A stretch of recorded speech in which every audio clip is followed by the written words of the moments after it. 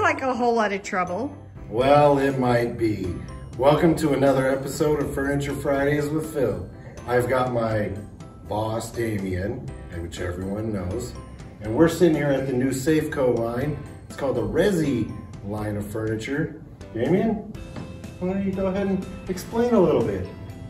Well, it's not much to explain. It's an all wood base on the chairs and stuff, maple finish, multiple kinds of fabrics that we can uh, choose from. And actually they sit quite well for uh, the shape that they are. Uh, could be used in pretty much in any atmosphere, uh, area and stuff, so feels pretty good. What do you think? I like them. They're actually pretty comfortable. I was a little hesitant at first, but then I sat in it, two thumbs up.